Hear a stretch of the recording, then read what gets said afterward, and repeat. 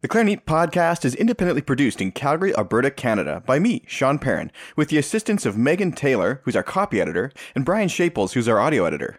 The show is made possible in part by listener support from clarinetists all around the world just like you. Special thank you this month to Pat, Renee, Tammy, and Simon for becoming our newest monthly patrons. If you'd like to learn how you can support the show on a monthly basis for less than the cost of one reed per month and get access to an ad-free version of the show at the same time, head to clarineat.com slash support. Thanks so much for listening, and I hope you enjoy today's special back-to-school episode of the Clarineat Podcast. So it's that time of year where students all around the world are heading back to school, and uh, the luckiest of those pick the clarinet, of course, and the luckiest of those luckiest are, of course, here listening to the Clarineat podcast. So thanks so much for listening. Um, you know, students though can be at any level. This could be your first day of junior high band. You could also be going into your last year of graduate school and kind of wondering where to go after that. Maybe you're a returning player who took a long break after a career and the kids have left home and it's time to start taking up your favorite high school hobby again. Or you know what? Maybe you're a seasoned professional who's realized that we just never stop growing and learning as musicians. So, this episode, no matter who you are, I hope it's for you and I hope you'll find it interesting. What I've done is I've put together four of my favorite educational moments from the podcast, one which uh, puts science and music together and actually lets you get longer life out of your reeds and stay healthier at the same time. The next conversation features a uh, bit of advice for how to better win auditions and how to use technology and modern apps and recording techniques to do so. Along those same lines, many of you are probably thinking of using an iPad for your music this year, and I know that I've tried that before and never become a huge fan of it, but we meet the person who probably pioneered the idea and invented the AirTurn pedal for the iPad and literally wrote a book on how to go paperless with your music. Lastly, we have a story shared by one of the 20th century's most prominent bass clarinet players about his experience taking up the bass clarinet when he first started, and the passion just is unbelievably evident even uh, in his later years. And unfortunately, he passed away rather soon after this uh, podcast was recorded, I believe within the year, um, which is really, truly unfortunate. He will be sorely missed. So, anyways, I hope you enjoyed today's episode. This was a lot of fun putting together, and I hope that if you are new here, you will check out the back catalog of Clarineat episodes. We're approaching almost 100 now, and there's just so much value in those episodes for new players and old players alike to enjoy. So, thank you so much for listening. Today's episode of the show is brought to you in part by D'Addario Woodwinds and their new weekly trivia show called Don't Blow It. You can check it out every Wednesday at 3 p.m. Eastern Time on their Instagram channel, and if you know the right answers to the questions, you might even get the chance to win some amazing new gear. If you haven't had the chance to try out D'Addario's new reserve clarinet reeds, I absolutely suggest that you do, and you're in for a real treat. They're using some amazing new technology and manufacturing techniques that are helping achieve super consistent results. These reeds are now available at your local music store, or you can head to clarineat.com slash reeds to buy a box online right now. And now I bring you John Mackey, who's actually a biomedical researcher at the University of Alberta and found a way to get longer lasting reeds and stay healthier at the same time by mixing his expertise in medical research and science with music. Foundation of, of Reedjuvenate is actually science. And uh, reed cane is essentially uh, a type of wood fiber and uh, it, that means it's uh, made up of proteins uh, that, uh, in particular, uh, have strength that you'd like to preserve. And it turns out that uh, after reading a lot about wood degradation, it was very clear from the reading I had that for wood out in the environment, it was the wet dry cycle combined with microbial growth, bacteria, but particularly fungi, so yeasts and molds, that actually give off a, a class of enzymes called cellulases. And they, these break down the cellulose protein that, that provides the integrity and strength of a cane reed fiber uh, and provides you know the, the physical characteristics you need for a reed to perform well. So i read about this and then i had to confirm that that in fact was happening to to reeds. And and the way i had always handled reeds as how I'd been taught as a youngster. I would, you know, wet my reed with saliva or water, and then I would allow it to dry on a on a flat surface, often a glass plate, uh, and then you know rehydrate when it was time to use again. And uh, even with you know very care, careful attention to reed care, I, I found that uh, reeds were breaking down. It turns out when I took those reeds and cultured them in petri dishes, it was very clear that uh, that the germs that we all have in our mouth, which includes bacteria and yeast, were a major contributors to the breakdown of the reeds. So if I was able to sterilize uh, the reed, uh, it would last and be stronger using this tonometer test. It would last, you know, four to eight times longer, uh, simply because of the, the sterile conditions. And in addition, the wet dry cycle uh, contributed about a third to the rapidity of the reed breakdown. So I, I, you know, I've, I had all these data that I had generated in in my basement lab after hours, and uh, uh, and with you know uh, with some expertise and and consultation with some really bright people at the University of Alberta, and then I started thinking, well, what what can we do to prevent this? Well, you know, the first thing we can do, well, keep humidity stable, uh, it would stop the, the wet dry cycle that puts stresses on the fibers. So, of course, that means you have to keep it at a constant humidity. But the problem was if you humidify a reed, uh, it, it tends to become moldy, and then you've lost any benefits you might have gained. So, you know, there are many ways to suppress mold and yeast, but but the key of it, a point is that uh, yeast uh, dies. It's very sensitive to ethanol, to alcohol. Hmm. So uh, ethyl alcohol, so ethanol, is actually the key chemical component that makes the Reedjuvenate system work. So what we've decided to do is, you know, at first I would, you know, store these in in reagent grade alcohol, and they lasted for a long time.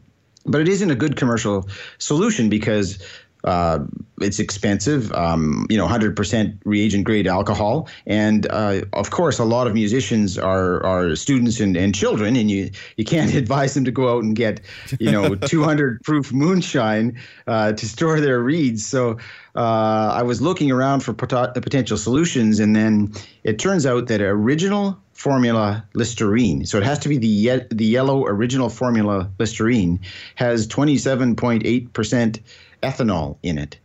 So uh, we reduced the amount of ethanol down to that, found that it seemed to work beautifully.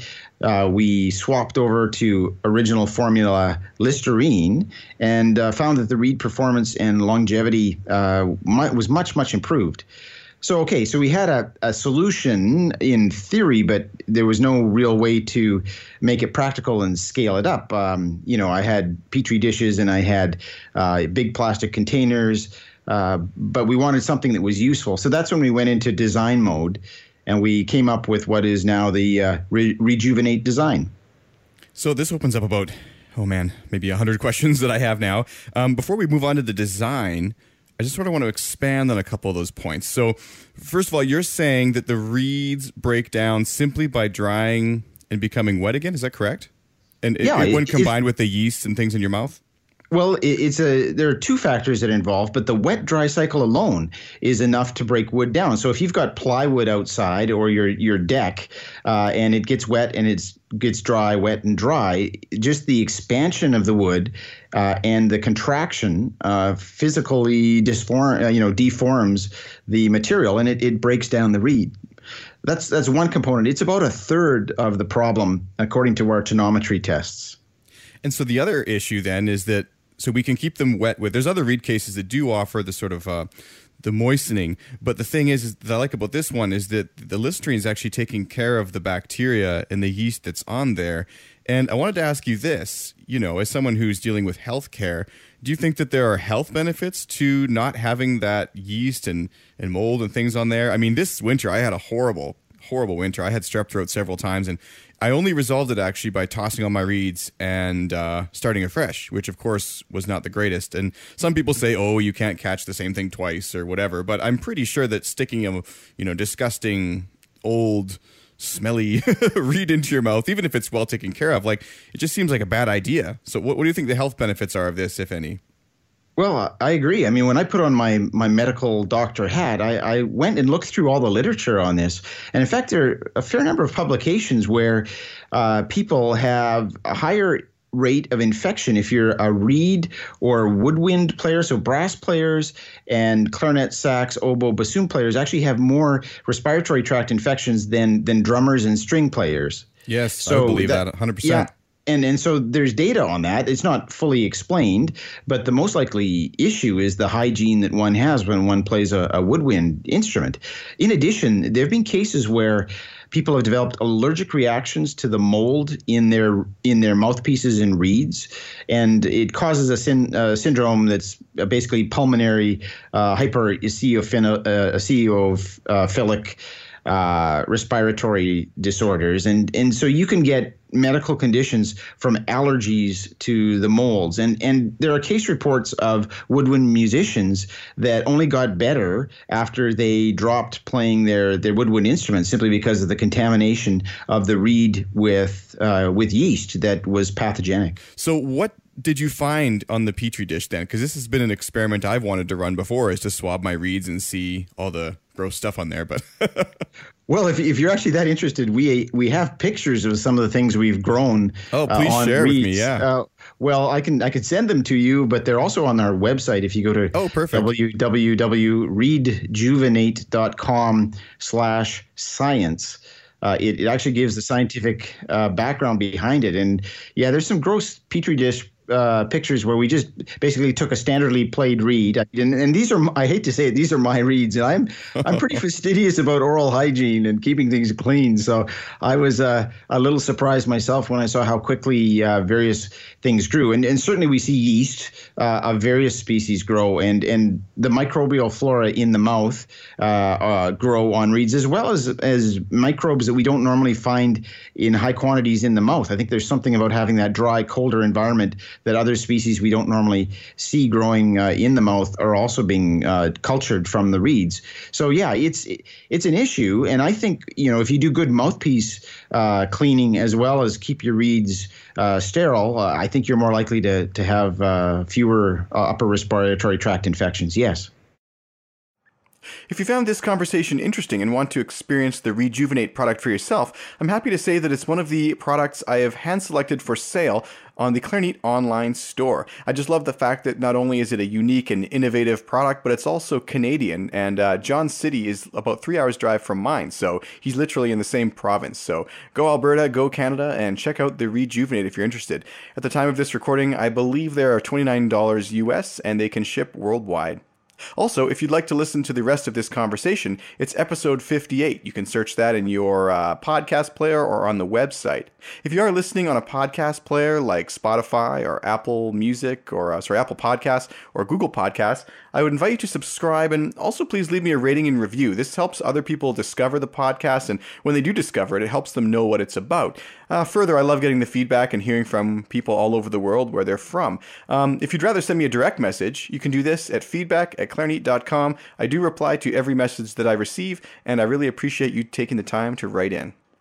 Next on the show here, I've got a short snippet from a conversation I had with Jason Heath. He wrote a book called Winning the Audition, and I know that that's something that a lot of students are really focused on right now as they try to get to first chair in their local band programs or, you know, maybe the uh, regional orchestra or something like that. Um, he talks a little bit about not only his book, but some of the, the great things in there, but also some of the recording techniques that he uses in order to, to listen back and improve his performance. So this is super valuable if you're not recording yourself. You really ought to start, and it's never been easier than at this point in history, where we literally have a high quality recording device in our pocket basically at all times. So, anyways, this is Jason Heath, and if you'd like to check out his podcast, you can do that at contrabassconversations.com it's not just recording yourself in general it's how are you recording yourself and how are you using that info? That's something that i think the people that have been successful what they've done that's a little bit different. And a couple takeaways one that i heard over and over again was recording yourself in a large space and putting your recorder where the committee's going to sit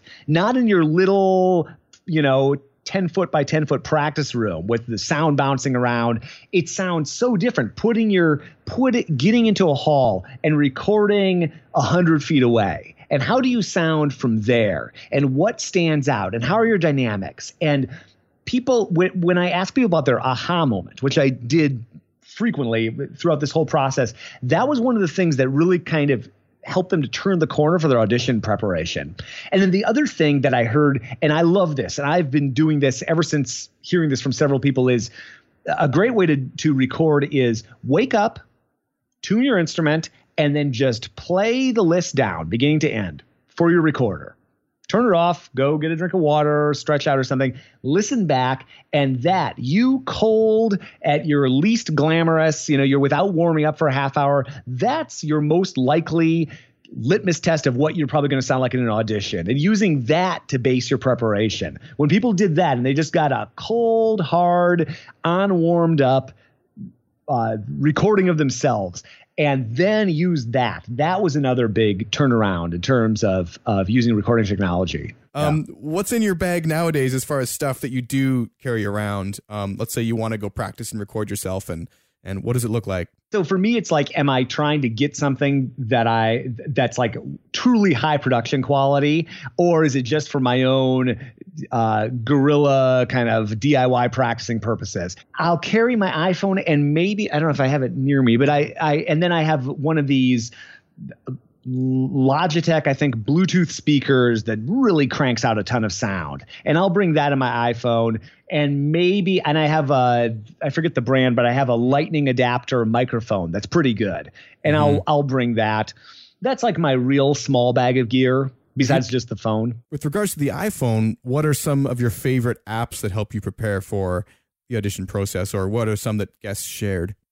Sure, absolutely. I have, uh, and I can, I'll send you a link. I did a talk in 2015 on useful music apps and apps that I use in my own teaching, but I also use them for audition preparation. And some of them include, and I actually have my iPhone here so I can open it up.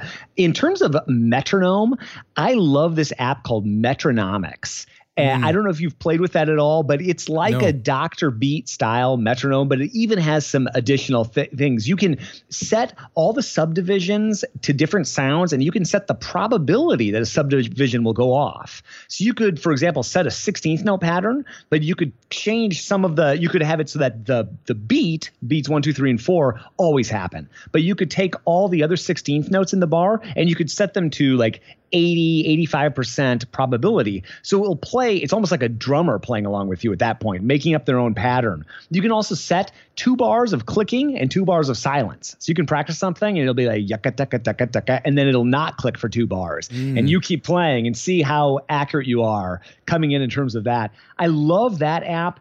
forScore is an app that I use a lot. I'm not sure if you use that, but it's great for just whole uh, it's just a great pdf music repository and it has a metronome built in and you can write on the music. And so forScore i love.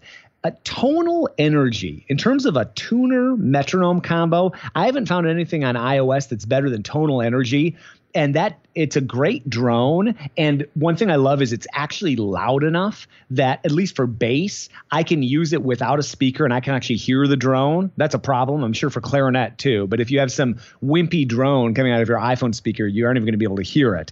TonalEnergy really has a nice sawtooth wave you can use that's loud. And that one will it has so many different modes. You can have a drone with a metronome going. You can even do this goofy it's kind of like an auto tune thing where you'll play and it will play the pitch that you're playing along with you. So if oh, you want to practice something slow, yeah, it's very weird but it does work. And and I don't practice with that a ton, but I do sometimes. And it even has this amplitude kind of practice mode where you can practice and it'll show you the the shape of the sounds that you're creating. And it, I found that really useful, especially with teaching for dynamics. Like with a student, I'll have them play some of the like, no, that's not really forte. We need to get to this decibel level. That's forte. Or you hear how that sustain is, or you hear you're releasing that note, and you can actually see the shape of the sound that they're playing. So that app can't say enough good things. And then one more I'll mention is AnyTune Pro. AnyTune Pro is there's a, a computer program that's been around for years called the Amazing Slowdowner, but AnyTune allows you to take real recordings and put them into the app, and then you can slow them down, and it preserves the integrity of the recording. So you can take the Berlin Philharmonic playing Beethoven 5 and you can actually slow it down to half tempo and not have it sound like a ridiculous mess. It actually kind of sounds like the Berlin Philharmonic playing half tempo. So I found that and you can adjust the A. So for example, if you're if you have eight recordings you love of excerpts, but they're all slightly different A. That's a very common problem. In this app, you can move it so that they're all A440 or A442, which oh, just wow. takes yeah, it takes a lot of hassle, a lot of practicing with recordings. And you can set loops so it'll continue to loop different excerpts. You can bookmark the loops, so you can have like Brahms two, and you have two excerpts. You can just set them as loops, and you can practice one, then practice the other. So those are some of my favorite apps.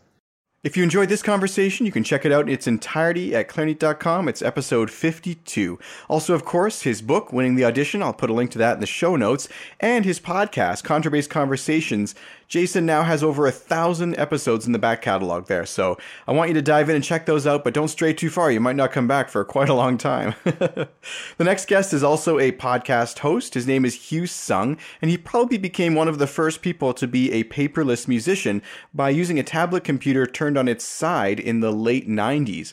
He had a problem, though. He couldn't flip the pages easily, and he actually created a solution, and uh, through an entrepreneurial twist of fate, met someone that helped him bring that solution solution to market. So this is Hugh Sung. Uh, check out his podcast as well before we move on here. It's called The Musical Life, and he's interviewed everybody from me to Anthony McGill to Yo Yo Ma on that show. And uh, well, I believe it's currently on a hiatus while Hugh pursues other projects, as entrepreneurial people tend to do. Um, it's still definitely worth checking out. I believe it's a musicallife.com. It, it started with me being totally absent minded. I'm one of the most forgetful people uh, when it comes to paper. I lose things so easily. And as a collaborative pianist, as an accompanist, I'm required to learn thousands of pieces of music and have access to all that all that music as well because I play with just about every instrument you can think of. I can't tell you how many times I've been on the road or gone to a rehearsal, gone to a lesson, or even gone to concerts, only open up, opening up my bag only to discover I forgot my music. I left something. In fact, I've got this story. Anthony McGill, when he was a student, he had asked me to uh, accompany him for a major audition in New York City. I'm driving up the New York, the New Jersey Turnpike, and uh, I, I, at that time I lived about two hours away from New York City. Halfway up, an hour into the drive, just something was nagging me at the back of my brain. I checked my bag. And to my horror, I forgot one major piece of his repertoire. Oh my or, God. And so I called him on the road and said, Anthony, I am so sorry. I forgot the music. And he's, you know, he's getting ready to do his audition. And there was no time for me to drive back and back to New York. And fortunately, you know, he, as he told me later, he did find another pianist. but I felt like I just ruined his career. You know, and I've done this with other artists. I, I've, I, I was touring with Hilary Hahn. I forgot music on the stage in our one of the venues, and the next location we went to, I forgot the music. I run out, look for something at the local music store, the music library. Aaron Rosand, we flew to St. Louis. I forgot some sheet music, some rare sheet music there. And just the stress of remembering if I packed that stupid piece of paper with me was so overbearing. I and I started dreaming boy, wouldn't it be great if there's some way I could carry all my music with me digitally? Now, keep in mind, this is many years ago. Uh, the only types of portable computers were laptops. Okay, Microsoft Microsoft started coming out with these this mobile operating system called Windows CE, and this mm-hmm. really dates me. Okay, and so they were coming up with these you know these small what we called back in those days portable uh, port, um, personal digital assistants PDAs. Uh, the Palm Pilot was an example of one very popular back then. And then they started coming up with larger and larger form factors. And then my dream was, oh, I wish they would come up with something that would be large enough for a sheet of music. But there were two problems. There were still, the music was still in what we call landscape mode. You could only see it in a laptop view. And if you've ever tried to see a piece of music on a laptop, the old-fashioned kind of laptops, you can only realistically see half a page at a time, which would mean you would cut off, you know, the, the page in the middle, which works for some music, doesn't work for others. There's no way to see a full page in portrait mode vertically back then. That's what's so frustrating about using uh, software to write music yeah, on computers. Yes. So finally in 2001, Microsoft came up with the tablet PC running Windows XP. And this was the very first computer that could actually rotate the view of uh, a view of a piece of paper, a document in portrait mode where you could see a full page at a time, not half a page at a time. For me, that was my light bulb moment. I thought, finally, I could actually read music on one of these devices. They were prohibitively expensive back then, but I went ahead, bought, bought one of those units. I scanned some music and I, I took it out, you know, tried it out, and I fell in love. It was great. Even back then, the primitive technology, the music looked great. And it even came with pens where you could draw ink markings on the music, and it felt like a smooth Mont Blanc pen, gorgeous annotations that you could draw. The only problem was you could only read one page at a time. So the new situation for me was okay, now I've got to find a way to turn the pages, right? I didn't want to have to use a keyboard or a mouse and use my hands to turn the pages. I mean, we're talking digital technology. There must be a way to do it with some sort of a pedal. So I started searching around for page turning pedals. And I Googled pedals, pedals, you know, pedal controllers. I couldn't find anything. The funny thing was, it took me a while to realize that the industry term for that was because I was thinking as a pianist. Pianists, we work with pedals, the damper pedal, the soft pedal, the una corda pedal. But in business or in industry, they use the word foot switch. it took me a long time to figure out the word foot switch before I started finding commercial foot switches. So I, I, I bought a couple of them, and the problem with them was that they all clicked. They all used reed switches. So every time I press them, you hear click, click, click, click, which is annoying, especially if you're trying to make a, a CD recording. Um, or in, even in performance, people would hear it off the stage. They'd hear me funny click, click every time I turned the page. Um, they all were wired. They had USB cables that you had to plug into the computers, and so they looked awful. You see this cable dangling down from the uh, from the music rack on the piano, and they were all required some level of programming. And so, I mean, I was sort of comfortable with it, but for the average non-techie musician, this was just going to be too difficult to use. So my dream was, boy, if I could come up with a silent simple, sleek, in other words, wireless page turner, that would be my dream. So anyway, the, the, the, tablet PC continued to evolve, and I continued to experiment with my own different contraptions, different iterations of trying to modify switches that were never really meant to be used the way I was using them. They were all either hand switches that I tried to create different cradles for for my foot, the problem was they were either not completely reliable. Well, actually, most of them were not very reliable. But they were all ugly. They all made noise. Well, the noise is actually very interesting to me. I want to touch on that for a second because sure. you have found actually something very intriguing, and that is that within design, I know it's it's considered good design to give feedback. So you press the the home button on your cell phone, it should give you some tactile or auditory feedback to let you know that you've done that outside yes. of the operating system.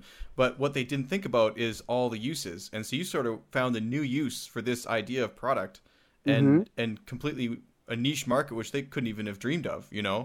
Exactly, exactly. And because the, the, the, clicking was intended to be tactile feedback, but, but I didn't want that. exactly, because in this case, and I guess they hadn't considered, but for someone like a musician, the clicking is the very thing that's letting you know you turned the page is detracting right. from the performance. Like exactly. you know you've turned the page because you're looking at it. exactly. So the story is one day I'm giving a recital at the Curtis Institute of Music. One of the I accompanied a lot of the student recitals. After the recital, this woman comes up to me backstage and she has this wild look in her eyes. My friend and I have been looking all over, searching the world for somebody like you for the past five years. she wow. gave me her business card, invited me to come out to Colorado. Long story short, I met my future business partner, Lester Karplus. Lester Karplus had started 13 other companies. He was a, a, a serial entrepreneur. I'd never met one like that in person. And so he proposed going into business together because he, he had been looking for a, musician, a top tier professional musician who was also comfortable with technology. And then back in those days, well, even today, it's very hard to find somebody who's comfortable in both. You have people in technology who know, you know, not, not enough about music to be known in the music world, right? And you have musicians. Most musicians, they you know they they only have a passable, passing knowledge of technology. Certainly not, you know, not the level that we would need to start an actual tech company. And so in me, he found that rare person that had both qualities. And so we went into business together and started AirTurn. So I would consider myself a very uh, technologically well-rounded person, but I the digital music thing has always been a wall for me. I've never found I had an iPad and honestly when I went to sell it, I, I couldn't find it under my bed. It had been so long since I used it. um, but you know, I think part of the problem was because the screen, even though it was larger than anything we'd ever seen up until then, um, it was still not big enough as a sheet. But now, of course, they have the iPad Pro, and I'm I'm thinking of trying this again. Yeah, Wh- what tips do you have though? Like, are there, is there a certain app that lets you mark up the music, or how does that work? I actually wrote a book on the subject, and the book is called From Paper to Pixels Your Guide to the Digital Sheet Music Revolution. You can actually find the book on Amazon. Uh, it's available as a paperback or as, ki- as a Kindle download, and also available as a file download for iBooks. Wow, I'll have to check that out. I'll Yes. put a link to that in the show notes so everyone can go and, and, and, and have a read of that. But what about battery life? I mean, I another concern of mine is, you know, I, I know that we'd like to think it it will last the whole concert, but maybe for whatever circumstance it won't. Have you, have you had issues with this or no? you know, with the iPad, it's never been an issue. You know, with the old computers, yes, that was always a fear. So I would have a, a power cord running from the, the the old tablet PCs, which would have maybe an hour, maybe an hour and a half, more likely 30 minutes of battery Oh, it was bad in so it was terrible. Back in those days, it was terrible. But the iPads run for 10 hours. You know, so true. I, I don't even bring my power cord with me when I go for a full day of work. It's amazing.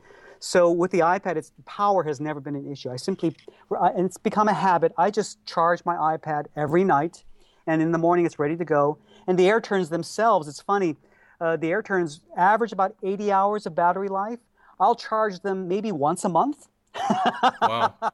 and I can go a whole month with all the work that I do, and just remember to charge them once a month or so. That's fantastic. Yeah. You know, th- I was thinking just now too. These would be so good for percussionists because um, obviously you're using your hands. You can't exactly flip pages while you're playing something like a marimba with four mallets in your hands. Mm-hmm. And uh, many times, because you're looking at larger scores, y- your parts are multiple sheets long. So Yeah, would just yeah, be abs- brilliant. And So- you know, the AirTurn not only works with the iPad, it'll also work. We designed it uh, as, as a universal controller, so it works with Android tablets as well. It also works with Mac and PC. So conceivably, you could get a big screen PC or a big screen Mac and you know, a good 20, 23 inch monitor and read your music much more comfortably, even read two pages at a time with some software as well. So lots of options. Digital music gives you the freedom to resize your music. And there are even low vision options depending on the apps that you're using. So there's a lot more flexibility. My book actually goes into a lot of the, the apps and applications and techniques for viewing music on different kinds of monitors and screens and devices. And even though the book is a few years old, one of the things I was very mindful of, is because I've been paperless for so long, I wanted to share timeless principles that have allowed me to use the same scores that I you know, scanned in 15 years ago that I still use today to help people understand that if you understand the basics of the technology, this will serve you for many, many, many more years to come. You don't have to worry about being obsolete if you understand the underlying technological principles. And that's what my book tries to do, in addition to the, you know, the apps that were current at that time, but which you can easily replace nowadays with whatever is, um, is, is available today. Well, I'm gonna have to try it again because I, I consider myself to be sort of technologically ahead, and then I still show up with my old tree music. And Well, can I can I share can I share an interesting story? Now, this is going to come out uh, with my interview with with Anthony when it when it comes out.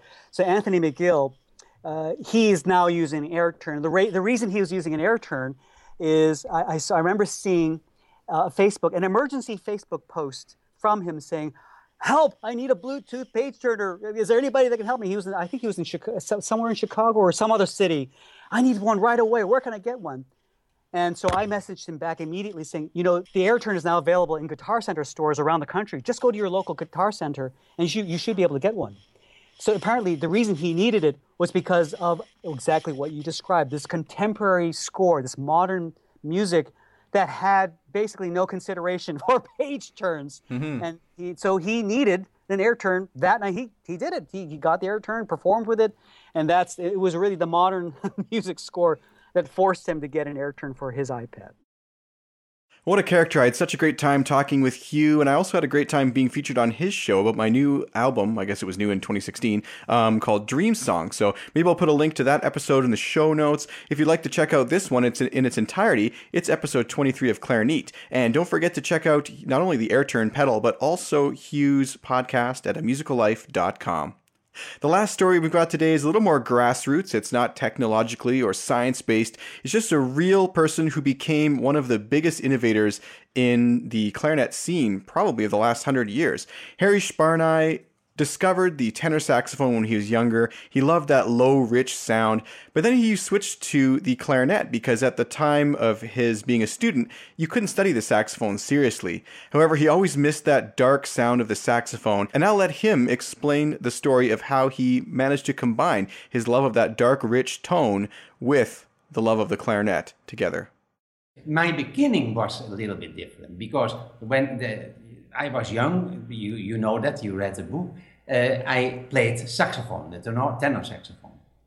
And when I wanted to be a musician, my father said, okay, you have to study uh, the conservatory because there are enough street musicians. I want that you study. Okay, and I go to the conservatory. But at that time, the saxophone was completely forbidden. It was a dirty instrument. It was, I, we are speaking about 1960, eh? 1960. Yeah. Now, now the saxophone is accepted in all the places, but at, not in my time. No, man, no, man, not at all. So I came there with my saxophone, and they looked at me very, very strange, and they said, "But what, what, what, what are you playing?" And I said, um, I want to play uh, uh, Well You Needn't from Thelonious Monk. Mm-hmm. And they said, What? And I was playing at the tenor sax and I made an uh, improvisation, blah, blah, blah. And nobody, nobody wanted to have me. Only one guy. And that was the clarinet professor. He said, Yes, I want that, that guy. I want it. And he told, he spoke with me and he said, uh, Yeah, but you have to speak, you have to uh, uh, play clarinet. But don't worry, that's also good for your saxophone technique. And I said, okay, no problem. I wanted to be a musician, so I started clarinet, but I always missed the sound of the sax, the tenor saxophone. So I was practicing more and more and more and more, and life changed. I started playing more clarinet, always more mm, contemporary pieces than the classical pieces. I remember one time I was playing Weber and my professor looked at me and he said to me, You don't like it, eh? And I said, No, I don't like it at all. I'm sorry. And he said to me, Yes, but you have to practice it. I said, Okay, no problem. But you don't need to play it. Oh, say, thank you very much. so you really think did, did your father's encouragement then to seek formal training how did that shape your career then how is it different than it would have been Oh, I think it would have been completely different because my idea was working, for example, in a in a shop and in the evening playing in a jazz club or with friends, etc., etc. No, it should have been completely different, completely different. But now I want to uh, uh, go on with the, the, at the end of the study. I had already two uh, degrees for the normal clarinet, and then my professor came with a big case and I thought, hey, a saxophone, what is this? And then he opened, and there was a bass clarinet. And he was a fantastic professor. I loved him, Ru Otto, he was fantastic. And he said uh, to all the students who were there, oh, you can blow a little bit. And everybody was blowing a little bit, and everybody had a problem. And believe me or not, you can ask him, he is still alive, he is 93. Wow. I played three, four notes. I looked at him and I said, yes, but this is the instrument I want to play. And he looked at me and he said, No, no, Harry, please don't do this. Don't, don't do this. You cannot earn your money. Please don't. Yes, I want to play this instrument. I'm sorry. So I finished my uh, last degree for normal clarinet. I closed my cases. And then uh, I had to sell my uh, tenor saxophone to buy a bass clarinet. And then uh, I started. It was 1967 or 66. So let's go back to when you were a student for a second. I mean, really early. Um, back to that day when your parents bought you that saxophone. Y- Your mom said she went out for the afternoon and left you at home with this saxophone, and when they came home, you were playing. What what were those few hours like? I, I, fantastic. Oh, I love. Oh, I feel still. I get the feeling. I opened the case and I saw the saxophone. I knew a little bit about the mouthpiece and the reed, not from the saxophone, because I had a, a, a young uh, friend who played the clarinet in a harmony band. Uh, so I knew, and I was trying this, and uh, and uh, you don't need to be very intelligent to know uh, when you see the piano. Also, you go up, etc. So I saw the keys, and I think, okay, I have to close the keys, and I did it in my mouth, and I start blowing. Of course, completely wrong. So no tonguing uh, right, but I was blowing, and there came a note. So I, hey, that's lovely. And then I close a key. Hey, that's a lower note. That is ah. So that when I close the key, that's okay. So and that was going on. And then after three, four hours, I played. Oh yeah, I never forget that. And and a tune very popular in that uh, period. It uh, was called Tequila. Oh yes. And, yeah, you can you know it probably. Yes, yes only three notes or four notes. So I did not play a saxophone concerto, eh? but I yeah. played that. So they came uh, at home, my uh, father and mother, and I said, "Okay, sit down." And they sit down, and I played do do do do do do do do. So and and the next day I went to the shop where they bought the saxophone, and I said, um, "I want to have uh, somebody who uh, uh, give me lessons." And the man said, "Yeah, but I can do it." And then after a year, he said, "No, you you have to find another guy because I cannot uh, learn you, uh, teach you anymore." Uh, and then uh, I said to my father, "Okay, I want to do something. I want to be a professional musician." And then, uh, okay, then the whole story starts at the conservatory. Just such an incredible level of passion there. I really, really was so happy I had the chance to have Harry on the podcast. It was one of my favorite episodes for sure. And I was deeply saddened to learn of his passing last year. And this is just such a tragic loss for the entire clarinet community all around the world. Um, thank you so much for listening to today's episode. I do hope that you enjoyed it. I do hope that you feel inspired to practice more now and maybe have some new techniques to audition with and maybe even have a healthier fall cold season. I know it's super cold here already. It's already snowed about two feet the other day, believe it or not, for those of you living down in Florida. That's the way it is up in Canada here. It's, you know, on October 2nd, it's totally reasonable to expect uh, well over 10 inches of snow or whatever it happens to be. Um, that's just life in Canada. But, uh, anyways, the podcast is produced produced in Calgary, Alberta, Canada by me, Sean Perrin, your host, with the help of Megan Taylor, our copy editor, and Brian Shaples, our audio editor. I also want to thank all those who support the show on Patreon.